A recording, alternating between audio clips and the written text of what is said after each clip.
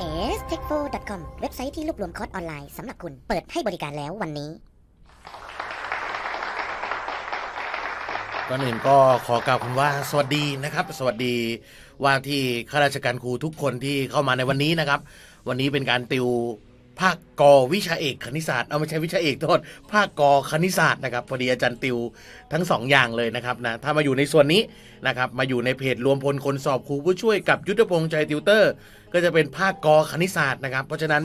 ใครที่กำลังติดตามนะครับกำลังฝึกฝนคณิตศาสตร์อยู่เนี่ยนะฮะก็สามารถทำไลฟ์สดนี้ไปพร้อมๆกันได้เลยนะครับไลฟ์สดรอบนี้เนี่ยเป็นการทำข้อสอบจริงให้ดูเลยนะครับ เป็น EP ที่ 5 แล้วถ้าจำไม่ผิดนะครับ EP นี้เป็น EP ที่ 5 แล้วเนี่ยฮะอ่าเราผ่านกันมาแล้วหลายอาทิตย์นะครับนะเพราะฉะนั้นเดี๋ยวหลังจากจบ EP เหล่านี้นะครับ EP ที่เฉลยข้อสอบจริงเนี่ยนะฮะน้องจะได้เห็นข้อสอบที่ไปข้างหน้ามากขึ้น เตรียมตัวสำหรับปี 64 มากขึ้นนะครับ ใครที่พลาดหวังไปเมื่อปีก่อนๆนะครับ ปี 63 ปี 62 ปี 61 ใครที่พลาดหวังมาแล้วนะครับ ก็ต้องเตือนตัวเองตลอดนะครับ น้องห็นคะแนนตัวเองแล้วเนี่ย น้องบอกกับตัวเองว่ายังไงนะครับ บอกตัวเองว่าวันนี้จะอ่านหนังสืออ่านหรือยัง บอกตัวเองว่าวันนี้ต้องทำให้ได้ทำได้หรือยังนะครับ หลายคนเห็นข้อสอบที่เฉลยมาแล้วนะครับเอ้ไม่ใช่เฉลย เป็นคะแนนออกมาแล้วนะครับ น้องเห็นแล้วว่าภาคกรน้องได้กี่คะแนน ภาคขอน้องได้กี่คะแนน น้องจะต้องดูตัวเองนั่นแหละนะครับว่าตัวเองอ่อนอยู่ตรงไหน ตัวเองยังไม่เก่งตรงไหน ตัวเองยังพลาดอยู่ตรงไหน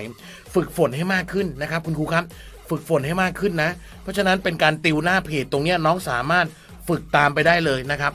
อะขออนุญาตต่อเลยนะครับ เมื่อคราวที่แล้วเนี่ยอยู่ EP ที่ 4 นะครับ EP ที่ 4 รอบนี้มาเป็น EP ที่ 5 ครับคุณครูครับ EP ที่ 5 อ่า ใครที่ยังไม่ได้ทักทายก็ทักทายกันได้นะครับนะ อาจารย์อาจจะไม่เรียกชื่อทุกคนนะครับ ช่วงนี้เดี๋ยวขออนุญาตโฟกัสที่การติวก่อนนะครับ อ่านี่คุณเบสบอกว่าหนังสือพูดได้ขลังมากค่ะหลายคนยังสงสัยเอ๊ะหนังสือยังไงมันพูดได้อ่าหนังสือยังไงมันพูดได้นะครับนะก็สามารถติดตามได้นะครับว่าหนังสือพูดได้มันพูดได้ยังไงนะครับอ่าสอบถามคนที่เคยดูอยู่ก็ได้นะครับ ว่าหนังสือพูดได้เป็นยังไงนะครับ ก็อยากแนะนำทุกคนนะครับสำหรับคนที่ไม่เก่งคณิตศาสตร์นะครับ ก็สามารถเก่งได้นะครับนะอะมาครับ เมื่อคราวที่แล้วเราติวกันไปถึง 25 ข้อแล้วนะครับ รอบนี้เป็นข้อที่ 26 ครับคุณครูครับอ่าใครเพิ่งเข้ามาก็เดี๋ยวมาฝึกไปพร้อม ๆ กันนะครับ วันนี้ทุกคนอยู่กับอาจารย์แก๊ปนะครับอ่าทุกคนครับข้อที่ 26 ครับ ในการแข่งขันกีฬาปิงปอง 13 คน จะมีการแข่งขันกี่รอบโดยจัดแข่งขันแบบพบกันหมดนะครับต้องบอกทุกคนนะครับเผื่อบางคนเพิ่งเข้ามานะครับ ทุกคนครับ EP นี้เนี่ยอ่ามีทั้งหมดทั้งหมด 5 ซีรีส์แล้วนะครับ 5 episode แล้วนะครับ ก็คือ 5 ตอนแล้วนะครับ แต่ละตอนเนี่ยจะพูดถึงข้อสอบปี 63 ก็คือข้อสอบที่ผ่านมา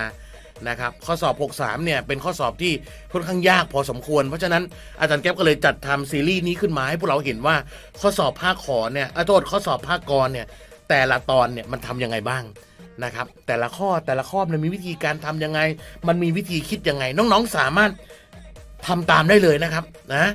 ใครทำได้เท่าไหร่น้องพิมพ์มาได้นะครับ พิมพ์ทิ้งไว้เลยนะครับ สมมติข้อนี้ตอบข้อ 1 พิมพ์ไว้เลย ข้อ 26 ตอบ 1 พิมพ์ไว้นะครับ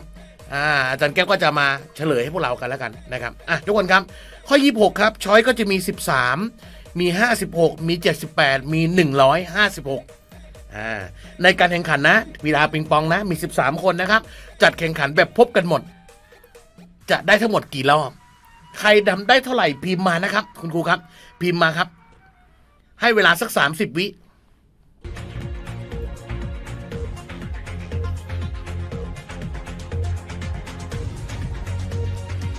มีคนตอบมาแล้วนะไวนะไวนะครูไวนะ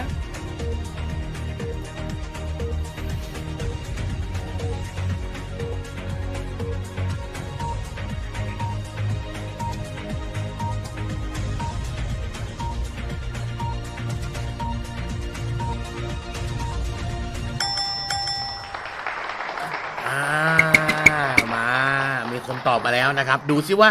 ถูกหรือไม่ถูกนะครับ คือในชีวิตจริงที่น้องไปสอบเนี่ยน้องต้องเจอสถานการณ์แบบกดดันแบบนี้แหละนะครับเรามาติวหน้าเพจเนี่ยเพื่อให้น้องได้รู้ว่าข้อสอบจริงมันเป็นยังไงนะครับ ใครเพิ่งอยู่ปี 5 ใครเพิ่งอยู่ปี 4 เนี่ยก็สามารถทำไปพร้อมๆกันได้นะครับอะมาดูครับ ข้อสอบข้อนี้เราต้องขีดเส้นใต้เลยนะครับ มีทั้งหมด 13 คนเอามันเป็นเรื่องการแข่งกีฬาสิอาจารย์ใช่ถ้าเคยทำใครเคยทำโจทย์แบบนี้เนี่ย มันจะมีข้อสอบด้วยกันอยู่ 2 ประเภทก็คือ การจัดแข่งขันแบบพบกันหมด กับการจัดแข่งขันแบบเย่าเยือนนะครับ ในกรณีนี้เนี่ยเขาบอกจะการจัดแข่งขันแบบพบกันหมด เพราะฉะนั้นพอน้องเห็นแบบนี้เนี่ยน้องทำไงครับ เอาจำนวนคนคูณจำนวนคนลบหนึ่งแล้วหารด้วยสองครับ เอาจำนวนคนคูณจำนวนคนลบหนึ่งแล้วหารด้วยสองข้อสอบนี้น้องสามารถใช้สูตรลัดได้เลยนะครับ เป็นข้อสอบแค่ไม่กี่ข้อนะ ในปี ในปีต้องบอกว่าในปีไหนอะในปี 63เนี่ยเป็นข้อสอบที่ไม่กี่ข้อที่น้องสามารถใช้สูตรลัดได้ ก็ต้องรีบคว้าไว้เลยครับคุณครูครับนะอะอย่างข้อนี้ครับ มีทั้งหมด 13 คนน้องก็เอา13เนี่ยยัดแทนค่าเข้าไป ก็จะกลายเป็นคนคูณคนลบหนึ่ง13ลบออก1เหลือ12แล้วหารด้วย2คิดตามสูตรเลยคุณครูนะ ต่อไปทุกคนตัดเลขครับ2ตัด12เป็น6สุดท้ายคำตอบจะเป็น13คูณ6ครับ 13คูณ6 6 3 18ใส่8ทด1 6คูณ1ได้6ทด1เป็น7ครับคำตอบคือจอยข้อที่3ครับ ฝนฟับเลยอ่าอ่าใครตอบนี้นะสุดยอดนะ ใครตอบได้นะ เยี่ยมเลยนะครับ ใครตอบผิดหรือยังไม่รู้ไม่เป็นไรนะครับ วันนี้อาจารย์แก๊ปไม่ได้มาติวนะครับครูครับ หลายคนจะสงสัยว่าเอ๊ะอาจารย์แก๊ปมาหน้าเพจเนี่ยติวหรือเปล่า ไม่ได้ติวครับก็คือจะมาให้เห็นแง่มุมในการทำโจทย์นะครับ การติวมันต้องหนักกว่านี้ การติวจะต้องเจาะลึกไปกว่านี้นะครับ อันนี้มาให้เราเห็นภาพของโจทย์ที่ผ่านมานะครับ ของโจทย์ที่ผ่านมานะครับโอเคนะครับ คุณครูตอบกันมานะ ต่อไปขอบคุณหลายคนนะที่แท็กเพื่อนๆด้วยขอบคุณด้วยนะครับ ขอบคุณมากๆเลยนะ ต่อไปครับคุณครูครับ ไปต่อครับข้อที่ 27 ครับไปต่อ วันนี้เป็นภาคกอคณิตศาสตร์นะ เพราะฉะนั้นรวมพลเลย รวมพลอะไรครับ รวมพลคนเกียดคณิตศาสตร์นะครับรวมพลเลยนะครับ ใครเกียดคณิตศาสตร์เนี่ยเข้ามากองอยู่ตรงนี้เลยนะฮะทุกวันพฤอะทุกวันอังคารนะครับ น้องจะมาเจอกับอาจารย์อย่างนี้นะครับ ทุกวันอังคารนะ จะมาเจอกับอาจารย์นะครับอ่าใครยังไม่เคยเจออาจารย์แก้บรรยายคณิตศาสตร์เลยเนี่ย ลองเปิดใจฟังสักนิดหนึ่งครับครูครับ เปิดใจฟังนะ ถ้าไม่ชอบปิดผ่านไปได้นะครับนะ เปิดใจฟังนะครับ ก็ฝากกดไลค์กดแชร์ด้วยนะครับอะมาต่อเลยครับคุณครูครับ ข้อที่ 27 ใครทำได้แล้วพิมพ์ลงมาเลยนะครับ ข้อ 27 โจทย์ถามว่า ชมรมหนึ่งเนี่ยมีสมาชิกทั้งหมด 12 คน ระดมทุนเพื่อไปทำกิจกรรมเนี่ยได้เงินทั้งหมด 3,000 บาท ถ้าสมาชิกผู้ชายระดมเงินได้ 2,000 บาท และสมาชิกผู้หญิงระดมเงินได้ 1,000 บาท ก็ถามว่า ถ้าทุกคนออกเงินเท่า ๆกัน จะมีชมรมผู้หญิงเนี่ยนะครับ มีกี่คน ชมรมนี้มีจำนวนผู้หญิงกี่คนนะครับนะอ่าช้อยก็จะมี 2 4 8 10นะครับใครทำได้เท่าไหร่ตอบมาครับคุณครูครับ ใครทำได้เท่าไหร่ตอบมานะฮะเราต้องบอกทุกคนนะ ตรงนี้เนี่ยมันเป็นการจำข้อสอบออกมานะครับ เพราะฉะนั้นมันอาจจะไม่สมบูรณ์ ช้อยมันอาจจะไม่เหมือนจริง ๆ ไม่เป็นไรนะครับคุณครูครับ น้องทำโดยใช้ความรู้คณิตศาสตร์นะครับ พอแล้วนะอะเดี๋ยวให้เวลาสัก 30 วินาทีครับอ่าเหมือนข้อสอบจริงเลยนะ เริ่มครับ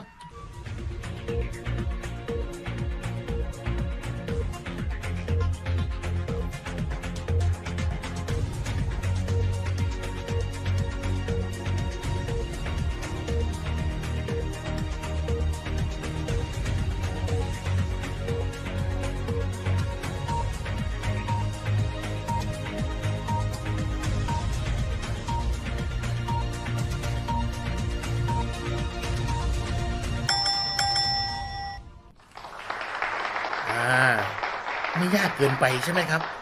ไม่น่ายากเกินไปนะ มีคนตอบได้นะครับ น้องจึงไม่แปลกว่าทุกปีทำไมจึงมีคนสอบบรรจุได้ แม้แต่ว่าข้อสอบปี 63 ที่ผ่านมาเนี่ยโอ้ข้อสอบยากมาก ก็จะมีคนสอบบรรจุได้นะครับ เพราะฉะนั้นมันขึ้นอยู่กับการเตรียมตัวของแต่ละคนครับบางคนอาจจะไม่ใช่เอกคณิตศาสตร์ไม่เป็นไรครับคุณครูครับ อยู่ที่ขึ้นอยู่กับการฝึกฝนของน้องๆ ถ้าน้องฝึกฝนอย่างดีพอเนี่ย มันจะสามารถทำข้อสอบได้ แล้วโจทย์แบบนี้เนี่ยไม่ไกลเกินเอื้อมทุกคนแน่นอนครับ พอน้องอ่านโจทย์แล้วเนี่ยเนื้อเรื่องคร่าวๆเขาบอกว่าในชมรมนี้เนี่ยนะครับ มีสมาชิกทั้งหมด 12 คน แล้วไอ้12 คนเนี่ยระดมทุนได้ 3,000 บาท แล้วไอ้12 คนเนี่ยนะครับ มีทั้งผู้ชายและผู้หญิงนะ แต่ที่น้องเห็นแล้วต้องสะดุดตาที่สุดนะ แล้วต้องขีดเส้นใต้ไว้เลยนะครับ ใครทำคณิตศาสตร์แล้วไม่ขีดเส้นใต้แล้วไม่เน้นไว้เนี่ย จะไม่เข้าใจเลยนะครับ น้องเห็นตรงนี้เนี่ยน้องต้องรู้เลยว่าเขาบอกว่า ถ้าทุกคนออกเงินเท่าเท่ากัน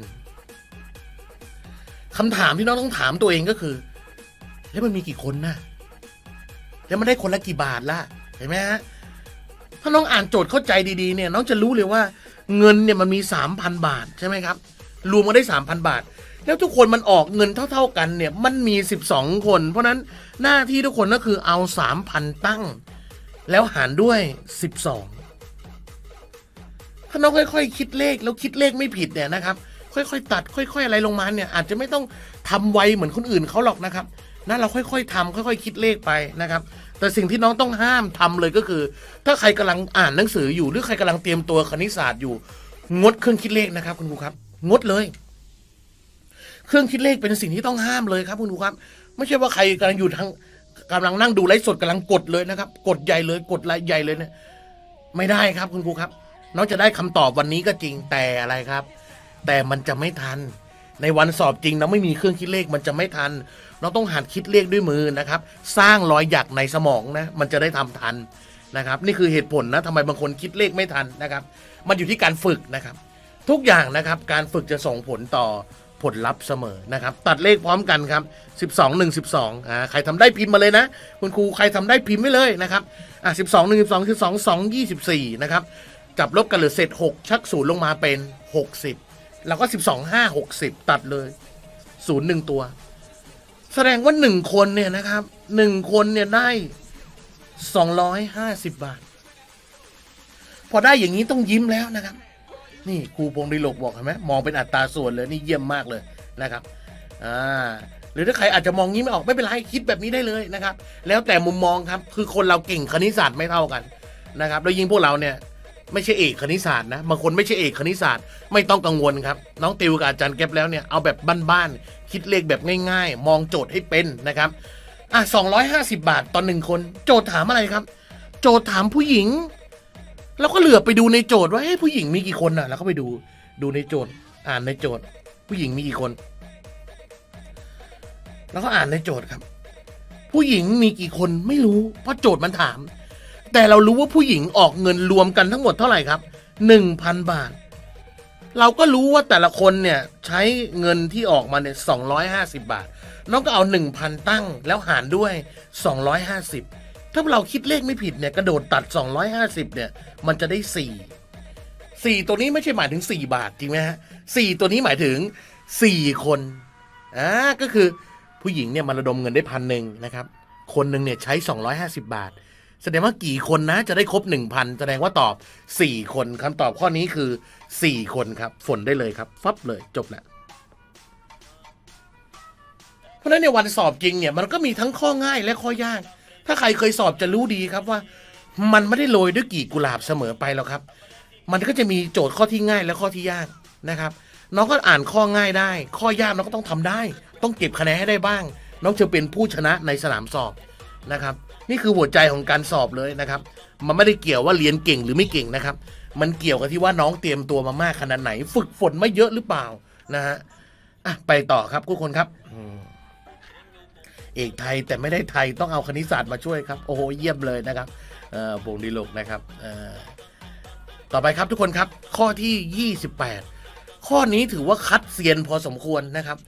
ต้องเซียนเลยใครใครทำโจทย์ข้อนี้ได้ถือว่าเซียนพอสมควรนะครับ ข้อนี้ก็จะมีวิธีจริงกับมีวิธีลัดด้วยนะครับ ลองมาทำพร้อมกันครับคุณครูครับ ลองมาดูนะคุณครูลองมาดูนะฮะเอ่อ กลัวไม่ได้ทั้งสองแหละครับ เออนะบางคนบอกหนูก็ไม่ใช่เอกอะไรเลยค่ะไทยก็ไม่ได้คณิตศาสตร์ก็ไม่ได้ แต่น้องไม่ได้แข่งกับเอกไทย น้องไม่ได้แข่งกับเอกคณิตศาสตร์ครับ พวกเราเอกอะไรเราแข่งกับเอกนั่นแหละนะฮะเช่นบางคนบอกหนูเอกปฐมวัยค่ะอาจันคะน้องเอกปฐมวัยก็ไม่มีใครชอบคณิต เอกปฐมวัยก็ไม่มีใครชอบภาษาไทย แล้วทำไมทุกปีถึงมีคนสอบบรรจุได้ นี่คือสิ่งที่ต้องตั้งเครื่องหมายคำถามไว้เลยนะครับ ต้องถามตัวเองว่า อะแล้วเอกกูก็ไม่ชอบกันหมดเลย แล้วทำไมคนมีคนสอบได้ เขาทำกันยังไงนะครับเขาทำกันยังไงนี่คือสิ่งที่น้องจะต้องถามคำถามตัวเองนะครับนะอะฝากไว้เป็นคำถามนะครับ เรามาตะลุยต่อนะครับ ทุกคนครับข้อที่ 28 ครับ แม่ค้าขายลำไยไป x กิโลกรัม กิโลกรัมละ y บาท และขายได้กำไรร้อยละแซดบาท จงหาว่าแม่ค้าซื้อลำไยมา ราคากิโลกรัมละกี่บาทช้อยก็มี 100 xy ส่วน 100 บวก z ช้อยข้อสองหนึ่งร้อย xy ส่วนหนึ่งร้อยลบ z ช้อยข้อสามหนึ่งร้อย xz ส่วนหนึ่งร้อยบวก y ช้อยข้อสี่หนึ่งร้อย xz ส่วนหนึ่งร้อยลบ y พิมพ์มาครับคุณครูครับ ให้เวลา 30 วิครับ ตอบกันมาได้เลยนะครับ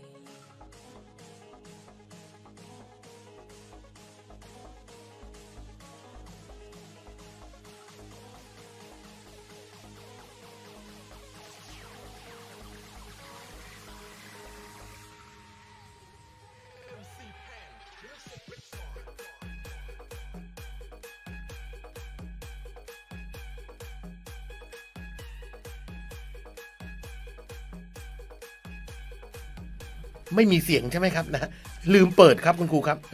ลืมเปิดครับ ย้อนกลับมาต่อนะครับนะอันนี้กี้พูดไปอะไรไปแล้วนะนะอะต่อนะต่อนะ แสดงพวกเรายังฟังอยู่นะครับนะมาครับมาครับขออนุญาตต่อนะครับ โอเค หลายคนเริ่มตอบกันมาแล้ว โอเคนะครับ ตอบกันมาไม่ได้ตอบช้อยนะครับ ตอบเสียงหายค่ะนะครับอ่าทุกคนครับมาแล้วนะ อ่าทุกคนต่อนะครับ ข้อสอบข้อนี้มันมีวิธีการทำหลายวิธีนะครับ แต่สิ่งที่หลายคนเจอนะครับ ถ้าใครไม่เคยฟังอาจารย์แก๊ปติวนะ จะต้องทำอย่างนี้ก่อนนะฮะถ้าใครไม่เคยฟังอาจารย์เลยนะครับ จะต้องทำอย่างนี้ก่อน ดูปั๊บว่าโจทย์ถามอะไร โจทย์ถามว่า แม่ค้าซื้อลำไยมาทั้งหมดกี่บาทคำถามครับ อันนี้ไม่ได้ติวนะ แต่ตอบได้นะครับคำถามครับ แม่ค้าซื้อลำไยมาทั้งหมดกี่บาท อันนี้คืออะไรครับ ซื้อคืออะไรฮะซื้อมา ซื้อมา คืออะไรฮะ ซื้อมาตัวนี้คือต้นทุนนะครับ ให้เก่งที่สุดเลยนะครับ ให้แบบแม่นการทำโจทย์ที่สุดเนี่ย ต้องตั้งอย่างนี้ก่อนใช่ ใช่ไหมครับ ต้นทุนเท่ากับอะไรครับ ขายไป ลบอะไรฮะ ลบกำไร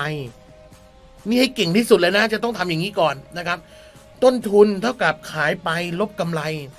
แล้วน้องต้องนั่งแก้มาสักพักหนึ่งนะครับ ให้ได้ว่าต้นทุนเนี่ยมีค่าเท่ากับเท่าไหร่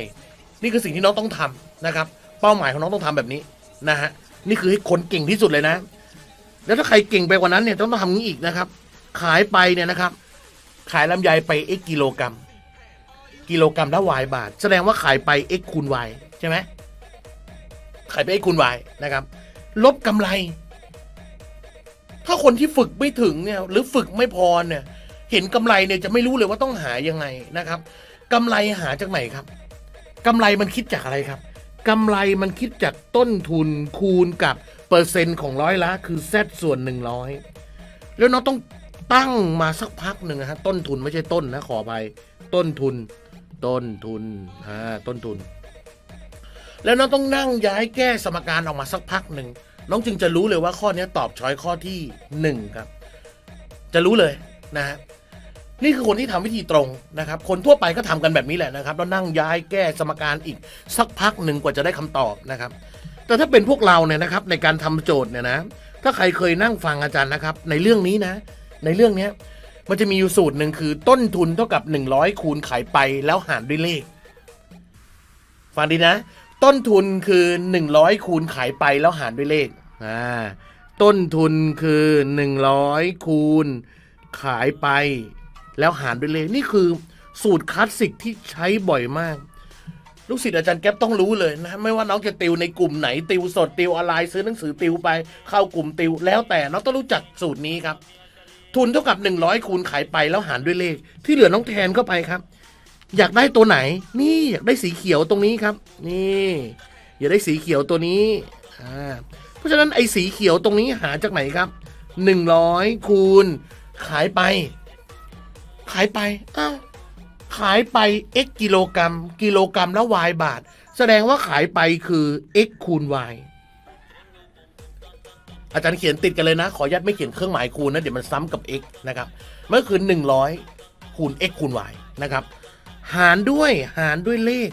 เลขคืออะไรครับทุกคน ตัวนี้ถ้าใครเจอบ่อยๆแล้วเรียนกับอาจารย์แก๊ปบ่อยๆเนี่ยนะครับคำว่าเลขตัวนี้มันจะคิดจากอะไรครับ เลขตัวนี้จะคิดจากร้อยละครับ อันนี้คือร้อยละแซดเช่นอ่ายกตัวอย่างให้ฟังเลย เช่นร้อยละยี่สิบตัวเลขก็เป็นร้อยยี่อ่าร้อยละแซด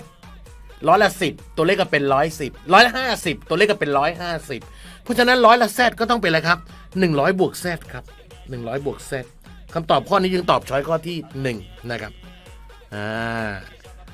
บอกแล้วอาจารย์ไม่ได้มาติวนะ อาจารย์บอกเลยนะ คอร์สที่อาจารย์มาติวข้างหน้าเพจเนี่ยนะครับ อาจารย์ให้มาให้ความรู้น้องๆ ให้ได้มากที่สุดนะครับ อาจจะไม่ได้ลงลึก detail ไปว่าสูตรนี้มันใช้ยังไงสูตรมันมายังไงอะไรพวกนี้นะครับ มันมันคือสิ่งที่อยู่ในคอร์สติวนะครับ แต่อันนี้เนี่ยมาให้พวกเราดูว่าเฮ้ยข้อสอบที่ผ่านมาเนี่ย ถ้าน้องเตรียมตัวดีพอนะครับ ฝึกฝนหน่อยนะหาความรู้เพิ่มเติมนิดนึงนะครับ มันอาจจะไม่ตรงกับที่ติวทั้งหมดนะครับ แต่น้องจะต้องหาความรู้เพิ่มเติม ดูคลิปมั่ง ดูคลิปจากตรงนู้นตรงนี้มั่งนะครับหมั่นเอาความรู้ใส่ตัวอยู่ตลอดเวลานะครับนะไม่ใช่เอาซีรีส์ใส่ตัวครับบางคนว่างก็ใส่ซีรีส์แล้วนะครับเออบางคนหนักเลยครับ เปิดซีรีส์ดูไปด้วยนะครับ ดูอาจารย์แก๊ปติวไปด้วย แต่ปิดเสียงอาจารย์แก๊ปเปิดซีรีส์แน่หนักเลยนี่บางคนหนักเลยนะครับนะเพราะฉะนั้นเออก็พยายามนะครับ คุณครูพยายามหาความรู้เพิ่มเติมอยู่สม่ำเสมอนะอ่าข้อนี้ตอบข้อที่หนึ่งนะครับข้อยี่แปดตอบหนึ่งนะ คุณครูคนไหนเข้ามาแล้วก็ฝากกดไลค์กดแชร์ด้วยนะครับ ไม่ลบไลค์นะครับ ไม่ลบไลค์สดนี้ น้องแชร์เก็บไว้ได้นะครับ ไปอ่านได้นะครับ หรือใครจะไปดูย้อนหลังใน YouTube ก็ได้นะครับ YouTube ก็สามารถดูได้อาจารย์แก๊ปก็ไปใส่ใน YouTube ประจำนะครับไลฟ์เสร็จก็ไปโยนใส่ใน YouTube ไว้ น้องก็ไปดูเพิ่มเติมได้นะครับนะอะมาข้อที่ 29 ครับอ่าข้อ 29 ครับคุณครูครับข้อ 29 ต้องบอกพวกเราอย่างนี้นะ คอร์สเริ่ม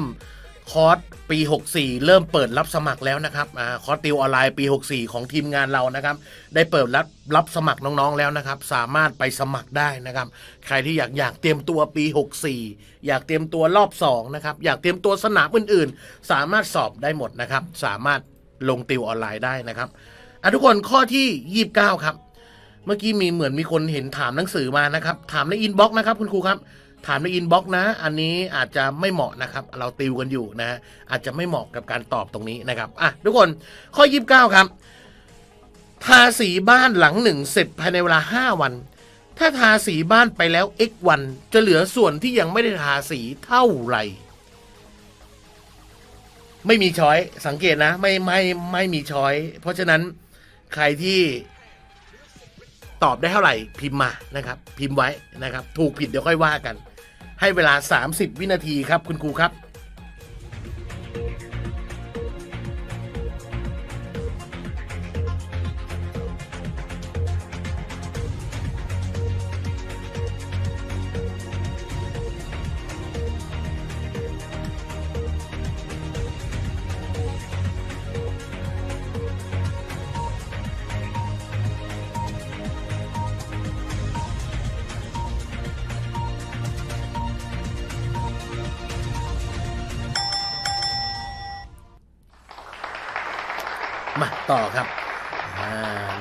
ฟังติวแล้วเข้าใจค่ะอ๋อ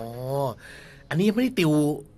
หนัก ๆ เลยนะ ติวจริงหนักกว่านี้นะครับนะหนักอึ้งเลยนะ อันนี้แค่แบบ sample sample แบบผ่อนคลายผ่อนคลายให้ดูนะครับ ข้อนี้ถือว่าเป็นข้อที่ค่อนข้างยากสำหรับหลายคนนะครับ หลายคนที่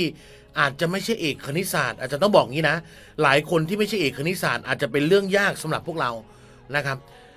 แต่อาจารย์ขออนุญาตติวให้พวกเราเห็นภาพแล้วกันนะยังโจทย์เรื่องนี้นะครับ น้องดูง่าย ๆเลยนะ เป็นเรื่องการทาสีบ้าน เขาบอกว่าห้าวันเนี่ยเสร็จห้าวันเนี่ยเสร็จนะครับฟังดีนะห้าวันเนี่ยเสร็จเลยนะฮะเสร็จทั้งบ้านเลย เพราะฉะนั้นถ้าน้องเห็นภาพในหัวคือ อ๋อ บ้านหลังหนึ่งเนี่ย มันใช้เวลากี่วัน5วันนะครับอะดูตรงตรงนี้นะ5วันในเสร็จนะครับ5วันอ่า อันนี้เรื่องนี้อาจจะเป็นเรื่องที่เข้าใจยากสำหรับคนที่ไม่ใช่เอกคณิตศาสตร์แล้วกันนะครับ5วันในเสร็จอ่าหนึ่งหลังหนึ่งหลังใส่ไป5วันนี้เสร็จเลยนะครับ ต่อมาครับ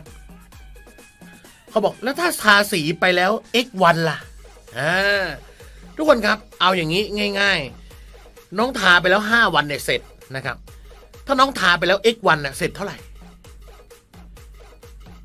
ถ้าหลายคนยังมองไม่ออกว่า ห้าวันเสร็จหนึ่งหลัง แล้ว x วันมันจะเท่าไหร่ ทุกคนครับห้าวันเนี่ยเสร็จหนึ่งหลัง แสดงว่าหนึ่งหลังเนี่ยหนึ่งเนี่ยบางคนอาจจะมองไม่ออกหนึ่งเนี่ยมันคือห้าส่วนห้านะหนึ่งเนี่ยมันคือห้าส่วนห้านะครับ เอา้าแล้วทำทำไมล่ะอาจารย์ ทุกคนดูห้าวันเนี่ยเสร็จหนึ่งหลังคือห้าส่วนห้าแล้วถ้าหนึ่งวันล่ะครับหนึ่งวันก็เสร็จหนึ่งส่วนห้าหลังจริงไหมครับ ใช่ไหมหนึ่งวันก็เสร็จหนึ่งส่วนห้าหลัง อันนี้ถือว่ายากครับครูครับ ถือว่ายากอาจารย์บอกเลยว่า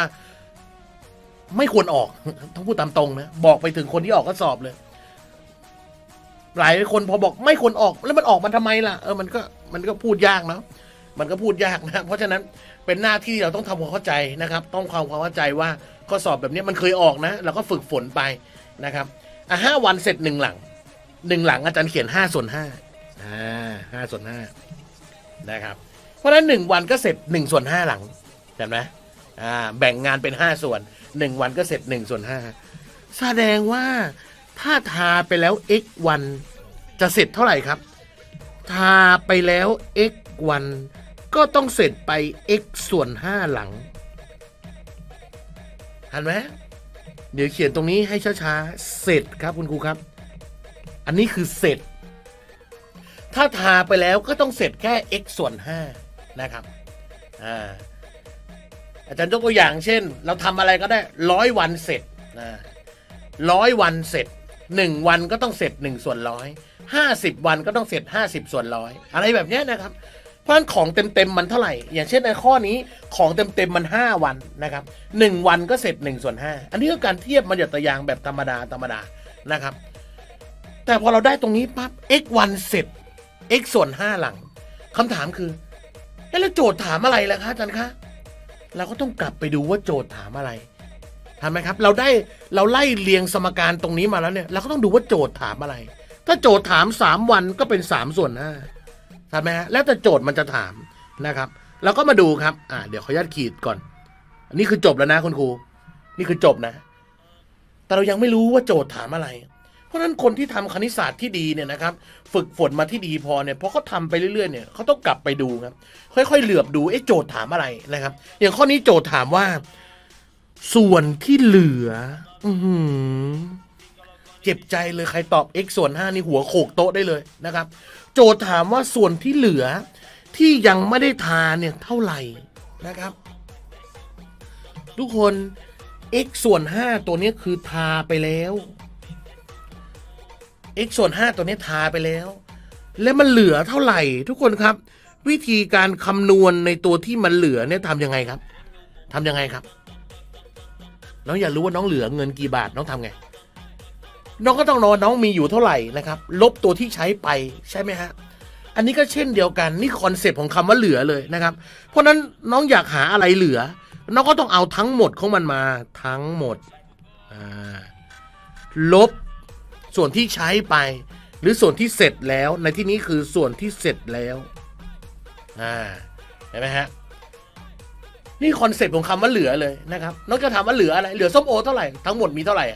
ใช้ไปเท่าไหร่อะเออขายไปเท่าไหร่อะเออนี่คำว่าเหลือนะครับนี่คอนเซปต์ง่ายๆเพราะฉะนั้นตัวนี้คำว่าเหลือเหลือเท่าไหร่ทั้งหมดเท่าไหร่อะเออทั้งหมดก็คือหนึ่งหลังนะครับ ทั้งหมดก็คือหนึ่งหลัง ทาเสร็จไปแล้วเท่าไหร่ ทาเสร็จไปแล้วก็คือ x ส่วนห้าน้องอยากรู้ว่ามันเหลือเท่าไหร่ แต่เผอิญนี่คำตอบแล้วนะ อันนี้คำตอบแล้วนะครู นี่คำตอบแล้วนะครับ แต่เผอิญว่าวันนั้นเนี่ยช้อยมันไม่มีแบบหนึ่งลบ x ส่วนห้าน้องก็ทำให้มันเป็นส่วนเดียวกันโดยเอาการเอาห้าคูณไขว้ไป น้องก็จะได้เป็นห้าลบ x ส่วนห้าคำตอบข้อนี้คือห้าลบ x ส่วนห้านะครับ แค่นั้นครับ ไม่ได้มีอะไรในกอไผ่นะครับ แต่ความยากมันอยู่ตรงไหนครับ ความยากมันอยู่การที่เทียบพวกนี้ครับ เพราะถ้าเราไม่ใช่เอกคณิตศาสตร์ เราอาจจะไม่มีอาอาจจะมีความรู้ลึกไปขนาดนั้น หรือมองภาพไม่ออกครับ ไม่ใช่ว่าไม่เก่งกับเก่งนะ มันคือคนที่มีประสบการณ์ในคนที่เขาเป็นเอกคณิตศาสตร์เนี่ยเขาก็ประสบการณ์ก็สูงอยู่แล้วเขาก็มองโจทย์ออกว่าอ๋อห้าวันนะเสร็จหนึ่งหลังวันเดียวก็ต้องเสร็จเท่านี้ x วันต้องเสร็จเท่านี้ แล้วโจทย์ถามว่าเหลือเหลือก็เอาทั้งหมดลบส่วนที่เสร็จแค่นั้นเอง นะครับ concept มันมีแค่นั้น แต่ว่าคนทั่วไปไม่เคยเจอแค่นั้นเองครับ นั่นคือปัญหาของคนทั่วไปแค่นั้นเอง เพราะฉะนั้นน้องมาเจออาจารย์แก๊ปแล้วเนี่ยนะครับพยายามกลับไปดูใครเพิ่งเคยดูครั้งแรกนะเมื่อกี้เพิ่งเห็นด้วยว่า มีน้องปี 4 มีน้องปีหนึ่งด้วยใครเพิ่งเคยรู้จักอาจารย์แก๊ปเนี่ยเข้าไปดูในวิดีโอใน YouTube เยอะๆนี่ YouTube ก็ขึ้นอยู่นี่เห็นไหมนี่ YouTube ขึ้นอยู่ ไปเซิร์ชดูครับ จากที่เมื่อก่อนดูอะไรดูรายการทอทัศน์ ดูซีรีส์ดูเพลง ฟังเพลง เปลี่ยนไปดูคณิตศาสตร์บ้างนะครับ แล้วฝึกฝนมีปัญหาตรงไหนก็มาสอบถามอาจารย์แก๊ปหลังไม่ได้นะครับอะข้อนี้ตอบ5ลบ x ส่วน5นะครับคำตอบข้อนี้คือ5ลบ x ส่วน5นะครับขออนุญาตไปข้ออื่นนะครับอ่าเราต้องได้ความรู้บ้างแล้วแหละนะครับอ่าขออนุญาตประชาสัมพันธ์นะ ใครที่อยู่ในกลุ่มติวนะครับ วันนี้นะครับ เจอกันนะ ตอนนี้ทุ่มครึ่งแล้วนะ เจอกันสองทุ่มกว่านะครับ ใครอยู่ในกลุ่มติวนะครับ กลุ่มติวอะไรอะกลุ่มติวปี 64 นะครับ กลุ่มติวออนไลน์นะ เดี๋ยวเจอกันนะครับสองทุ่มนะครับ กับอาจารย์แก๊ปนะฮะประชาสัมพันธ์ไว้เลยนะครับ ใครที่ไม่เอาห้าส่วนห้ามาลบเหรอคะห้าส่วนห้าก็คือหนึ่งไงครับคุณครูครับนี่ห้าส่วนห้าคือหนึ่งเนี่ยเออนี่ไงห้าส่วนห้าคือหนึ่งนะครับเราจะเปลี่ยนตรงนี้เป็นห้าส่วนห้าก็ได้นะครับเออแล้วแต่เราเลยเนี่ยห้าส่วนห้าก็ได้เท่ากันนะครับ ได้หมดครับคุณครูครับ ห้าส่วนห้าหรือหนึ่งก็ได้เขียนได้เหมือนกันนะครับคำนวณออกมาก็เท่ากันนะครับ ต่อไปครับคุณครูครับอ่าต่อไปต่อไปต่อไป ไปต่อ นอกจากคราวที่แล้วเนี่ย มีคณิตศาสตร์ด้วยนะครับ มีคณิตศาสตร์ไม่พอนะมีอันนี้ด้วยนะครับยุพรัตบอกไลฟ์ชนกันค่ะอาจารย์แก๊ปนะในในเพจน่าจะเพจอื่นหรือเปล่านะครับอ่าเพจนี้คงไม่รู้ว่ามีใครไลฟ์ชนกันหรือเปล่านะแต่ไม่เป็นไรหรอกน้องเพื่อ ความรู้ของพวกเรานะครับ เราก็สามารถดูได้หลายๆอันนะครับ ฝึกฝนเยอะๆนะครับ คุณครูไปต่อครับ ไปต่อไปต่อ มันจะมีไลฟ์หน้าเพจ มันจะมีไลฟ์ในกลุ่ม มีไลฟ์เพจนู้นเพจนี้นะครับ น้องฝึกฝนได้นะฮะดูย้อนหลังได้นะกดแชร์ไว้ได้นะครับเพิ่งกลับมาจากทำพิธีค่ะโอ้ไปต่อครับไปต่อไปต่อนะ ทุกคนครับ ข้อที่สามสิบสามสิบเอ็ดครับแหมอันนี้เป็น อาจารย์ต้องบอกว่าตั้งแต่อาจารย์เข้าสอบมาเนี่ยนะครับ ถ้าไม่รวมของกอพอนะถ้าเป็นครูผู้ช่วยนะ แบบนี้เนี่ยยังไม่เคยเจอเลยนะครับนะ เพราะฉะนั้นหลายคนอาจจะเป็นเรื่องใหม่สำหรับคนหลายๆคนนะครับ เรื่องใหม่สำหรับคนหลายคน อาจารย์ให้มองนะ ให้มองสักพักหนึ่งนะครับ แล้วตอบคำถามนะให้มองสักพักหนึ่งแล้วกันนะครับ สักสามสิบวินะครับนะ ชวนนะครูเก๋เปิดสองจอเลยอ้าวแล้วแต่นะครับนะเพราะครูเก๋คนละเพจอยู่แล้วนะครับต่อไปครับ อาจจะให้มองสักพักหนึ่งบางคนกำลังมองอยู่ไอ้ไหนคำถามว่าอาจารย์คะเออมันมีคำถามข้อ 30กับข้อ 31 แต่จะให้น้องมองสักพักหนึ่งแล้วน้องสรุปอะไรนะครับอ่าลองนะลองนะ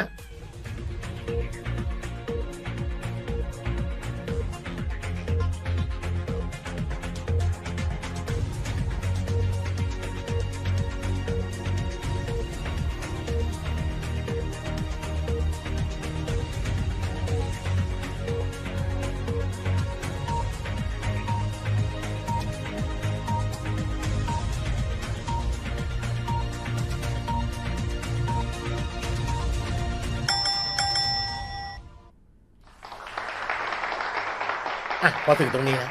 ให้ให้มองสักพักหนึ่งบางคนบอกหนูกำลังมองอะไรอยู่ค่ะท่านครับหนูกำลังมองอะไรอยู่เนี่ยนะฮะเขาให้แผนภาพตรงนี้มานะครับ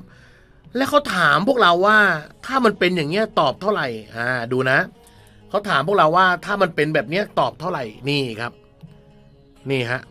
ถ้ามันเป็นแบบนี้แล้วตอบเท่าไหร่ ตอบช้อยข้อไหน เดี๋ยวอาจารย์แก๊ปจะก๊อปไปอีกหน้าให้นะครับ เพื่อความสะดวกของน้องๆนะฮะเดี๋ยวอาจารย์แก๊ปก๊อปไปอีกหน้าให้ นี่ครับ ข้อสามเอ็ดครับ นี่เดี๋ยวย่อให้ เห็นไหมเห็นไหมนี่ครับ นี่คือโจทย์นะ นี่คือโจทย์ถามนะ ข้อ 30 นะนี่อ่ามาตอบกันครับครูครับ เมื่อกี้ให้มองแล้วเดี๋ยวตีกรอบไว้ให้เนี่ จากภาพด้านบนนะครับ จากภาพด้านบนนะ เขาถามว่าจงหา L E A R N ไปยังสามมีค่าเท่าไหร่นะครับ ถ้าพวกเราหัดดูแผนภาพพวกนี้เนี่ย ซึ่งมันไม่เคยออกหรอกนะครับ เราจะต้องดูเองว่า เอ๊ะ มันมีคำว่าโควิด C O V I D นะครับ แล้วไปหาเลขหนึ่งแล้วไปหาเลขสองแล้วมันไป C C O V D I นะครับ เราก็ต้องคิดแล้วเอ๊ะแล้วมันยังไงเนี่ย พอตัวอักษรพอมันผ่านตัวเลขไปเนี่ย มันทำให้ตัวอักษรมันเปลี่ยนด้วยนะครับ พอมาไปเลขสามไปเลขหนึ่งแล้วพอไปเจอนี้ c o v i d d c o v i d d นะครับ เราก็ต้องดูแล้ว เอ๊ะ มันผ่านตัวเลขว่ะ มันผ่านตัวเลขทำให้ข้อมูลเราเนี่ย หรือทำให้ตัวอักษรเนี่ยมันเปลี่ยนแปลงนะครับ สิ่งแรกที่เราต้องสังเกตเลยครับ นี่ฮะเข้าใจดีพอสมควรนะ เลขสองครับคุณครูครับ อาจารย์วงไว้เลยครับ เลขสองเขาบอกมาเลย เดิมเป็นอะไรครับ นี่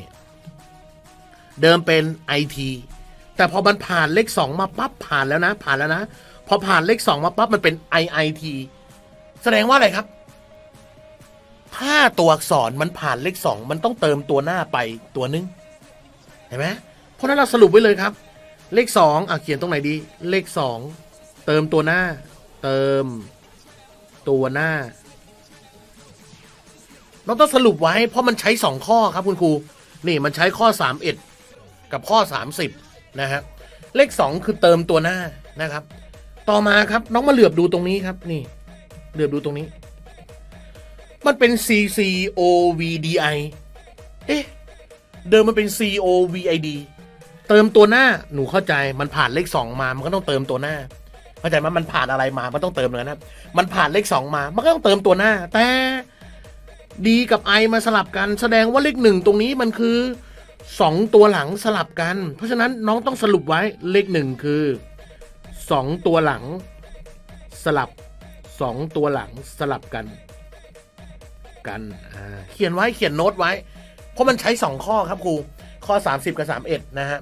ต่อไปเลขหนึ่งแล้วเลขสองแล้ว มีเลขสามด้วยนะครับ เลขสามด้วย เลขหนึ่งเรารู้แล้วคือสลับอะไรครับ สลับสองตัวหลัง นี่มาดูสายล่าง มีเลขสามด้วยนะครับเรา C O V I D ผ่านเลขสามมา แล้วก็ผ่านเลขหนึ่งด้วย แน่นอนเลขหนึ่งทุกคนรู้อยู่แล้วว่า สลับสองตัวหลัง น้องเห็นสองตัวหลังไหมครับ นี่ มันคือดีๆ มันก็สลับกันไม่ได้ มันก็สลับกันได้ที่เดิมนะครับ แสดงว่าเลขสามเนี่ย เดิมมันมีดีตัวเดียวไง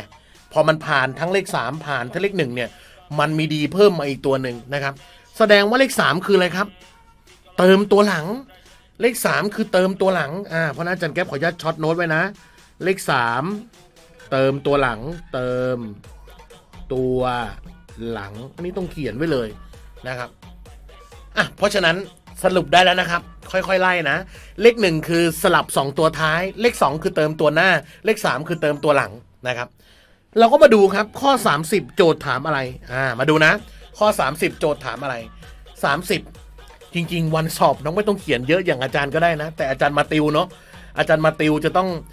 จะจะจะจะต้องให้มันละเอียดนิดนึงนะครับเผื่อบางคนจะได้จดตามทันได้เผื่อบางคนจะได้เอาไปดูย้อนหลังได้ ไม่ใช่มาปุ๊บอธิบาย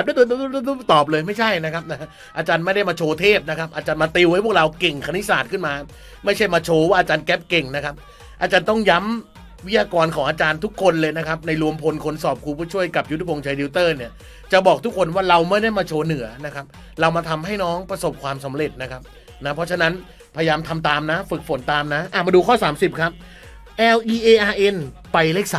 3 เลข 3 คืออะไรครับ เติมตัวหลัง แสดงว่ามันต้องเติม N ไปอีกตัวหนึ่ง แสดงว่าข้อนี้คือ L E A R N N เลยตอบช้อยข้อที่ 4 ครับ ฝนฟับเลย เห็นไหมไปต่อนะ อีกสักข้อหนึ่งนะ อีกสักข้อหนึ่งนะครับ อีกข้อหนึ่งมาเหลืออีกข้อหนึ่งนะฮะ อะ ไปต่อนะครับ อ่า จอจันค้างไปไหนวะเนี่ยอะมาต่อนะอะต่อนะต่อนะสามเอ็ดครับ T E A C H ไปเลขสามแล้วก็ไปเลขสองเริ่มครับ ให้เวลา 30 วินาทีพอนะเพราะเราสรุปกันไปแล้ว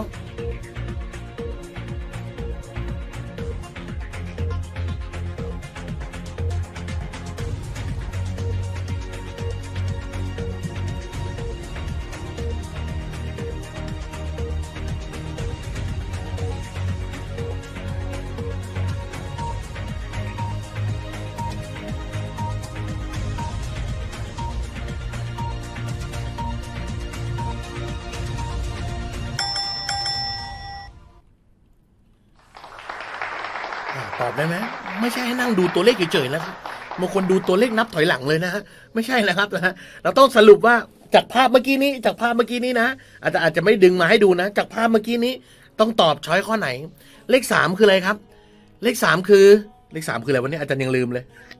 เลขสามอาจารย์ยังลืมเลยเลขสามเติมตัวหลังอะ เลขสองคือสลับสองตัวหลังนะครับ เลขสามคือเติมตัวหลัง เลขสองคือสลับสองตัวหลัง เพราะฉะนั้นเราต้องเติมตัวหลังก่อนเพราะฉะนั้นตัวหลังเป็น h แล้วก็เติม h เข้าไปนะครับ ตัวหลังเป็น h แล้วก็เติม h เข้าไปนะฮะอ่าแล้วเลขสองเป็นอะไรวะเลขสองเลขสองคือเติมตัวหน้าอ่าเลขสองคือเติมตัวหน้านะครับ เพราะนั้นเราก็เติมตัวหน้าก็คือตัว t มันจะกลายเป็น t t t สองตัว e a c h เติมตัวหลัง h มันกลายเป็นที่ที่ e a c h h นะครับคำตอบข้อนี้ก็คือช้อยข้อที่หนึ่งครับคุณครูครับเออช้อยข้อที่หนึ่ง อันนี้ก็เป็นโจทย์เรื่องเกี่ยวกับแผนภาพ เป็นโจทย์การให้เหตุผลในอีกรูปแบบหนึ่งนะครับ ก็เราก็ลองดูไว้นะครับ ไม่ได้เสียหายอะไรนะ ไม่มีใครศึกษาคณิตศาสตร์แล้วเสียชีวิตไม่มีใครนะครับ เพราะฉะนั้นมันอยู่ที่การฝึกฝนของน้องๆหลายๆคนนะครับนะอะเดี๋ยวใครอยู่ในกลุ่มออนไลน์นะครับ ไปศึกษาในกลุ่มออนไลน์ต่อนะครับ อาจารย์แก๊ปขออนุญาตจบไลฟ์สดหน้าเพจไว้เพียงเท่านี้เพราะเดี๋ยวต้องไปติวออนไลน์ต่อนะครับ เพราะฉะนั้นใครอยากฝึกฝนออนไลน์นะครับ สามารถ ฝึกฝนได้นะครับ ฝึกฝนได้นะ ทักแชททีมงานเข้าไปก็ได้ คอร์สออนไลน์ตอนนี้เปิดรับสมัครแล้วนะครับนะ เปิดรับสมัครแล้วน้องสามารถได้ DVD ด้วยได้หนังสือด้วยนะครับ นี่ฮะคอร์สออนไลน์นะ เอกสารตามนี้เลยนะครับ น้องสามารถใช้สอบได้ทุกวิชาเลยนะครับนะก็สามารถไปดูได้นะครับ สามารถไปดูได้ และสามารถดูย้อนหลังตรงนี้ได้ใน YouTube ด้วยนะครับนะ อ่ารอบที่แล้วออกมาคล้ายแบบนี้ค่ะ ไม่ใช่คล้ายครับครูครับ ออกข้อนี้เลยครับครูครับนะออกข้อนี้เลยนะฮะอาจารย์เอาเฉลยมาให้ดูนี่ทุกคนดูนะฮะอาจารย์เฉลยมาให้ดูนะครับ นี่อาจารย์เอาข้อสอบจริงมาให้ดูเลยนะครับ จากที่เข้าสอบมานะครับนะเอออาจารย์ดูเฉลยง่ายจริงๆ พอไปทำน้องสอบมันไม่ง่ายใช่ครับ ถูกต้องครับ มันอยู่ที่การฝึกฝนครับ อยู่ที่อ่าอยู่ที่วิธีการของเราในการเรียนรู้อยู่ที่โค้ดส่วนตัวของพวกเราด้วยนะครับ วันนี้ก็ไว้เพียงเท่านี้ครับ เจอกันใหม่ทุกวันอังคารครับคุณครูครับ เจอกันใหม่ทุกวันอังคารนะครับ วันนี้ก็ด้วยเวลานะครับ ขออนุญาตเอาไว้เพียงเท่านี้ครับ ยินดีที่ได้รับใช้ทุกคนครับ วันนี้เอาไว้เพียงเท่านี้ครับ สวัสดีครับคุณครูครับ ท่านคงปฏิเสธไม่ได้ใช่ไหมครับว่า การบรรยายครั้งนี้นั้นมีประโยชน์ ขอฝากท่านส่งต่อความสำเร็จ โดยการกดแชร์ กดไลค์ กดติดตามคลิปนี้ เพื่อทำให้เป็นการให้ที่ไม่มีที่สิ้นสุด และติดตามอาจารย์แก๊ปได้ในโอกาสต่อไปครับ สวัสดีครับ